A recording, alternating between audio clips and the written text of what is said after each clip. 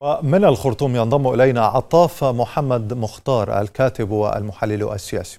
أستاذ عطاف أولا كيف تقرأ ما بين ثنايات هذا الاتفاق؟ شيطان التفاصيل موجود؟ حي يرزق.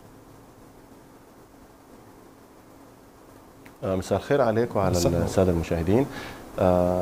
أستطيع القول الآن أن أن رياح الثورة بدأت يعني تهب على أشرعة مركب السلام بين البلدين.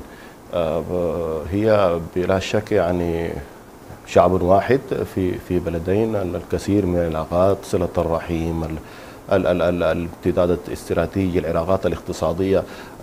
لا سبيل للطرفين إلا المضي إلى الأمام وصناعة السلام حقيقي ووفق ووقف التراشق السياسي الذي كان تسبب فيه النظام المخلوع السابق. فبالتالي الكثير من العقبات الآن أزيحت عن الطريق وبات الطريق إلى السلام معبدا. أعتقد أن الجنوب أيضا قدم روح يعني طيبة جدا في في في في استضافته لمباحثات السلام بين الحركات في الكفاح المسلح و والمجلس السيادي. طيب. وسهلت العملية والطرفين يعني أي أنك أستاذ عطاف تثمن هذا الاتفاق طيب. مراحل التنفيذ. هل تتم في القريب العاجل؟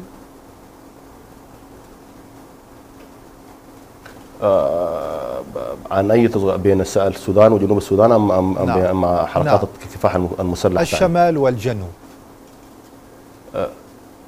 الشمال والجنوب الآن هم هم الآن في أعتقد إنه هم يعني تجاوزوا المرحلة دي لأنه العملية السياسية وتغريب أصبحوا الآن يلعبوا دور الوسيط ما بين الحركات النظام المسلح في الداخل وما بين الحكومة السودانية حكومة السلام.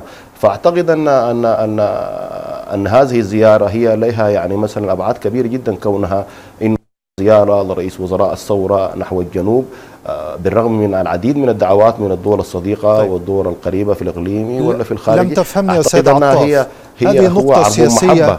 مفهومة لكن نعم. أتحدث عن تطبيق هذا الاتفاق المتعلق بالحريات الأربع مثلا مثلا فتح المعابر مطلع أكتوبر القادم هل الأمور ممهدة لهذه الخطوة وحدثني هنا عن الزاوية الأمنية هل القبضة الأمنية كافية لدحر أي تسريبات أو ربما خلايا نائمة تكون على الحدود مثلا؟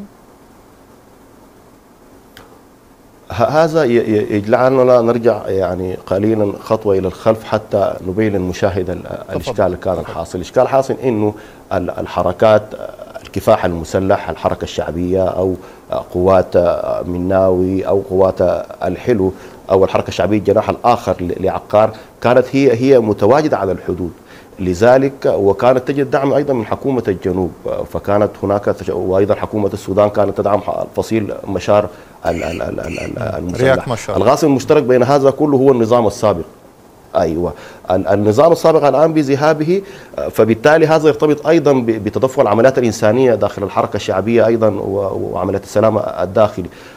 هذا هذا التعقيد في المشهد أن جميع هذه القبائل متداخلة وبينها تصاهر ما بين الشمال وما بين الجنوب يربطهم العمل والاقتصاد. فالآن الطريق أصبح ممهد. لا أعتقد أن المشكلة الأمني أصبح أكثر من أنه هي تكون في الفترة القادمة ترتيبات سياسية لفتح المعابر سريعا. هذا يتطلب عمليات الجمارك والانتشار نعم. القو... نعم. بين القوات المشتركة. وغير دليل على المصلحة المشتركة في الزاوية الاقتصادية مساله زيادة إنتاج نفط الجنوب إلى أضعاف.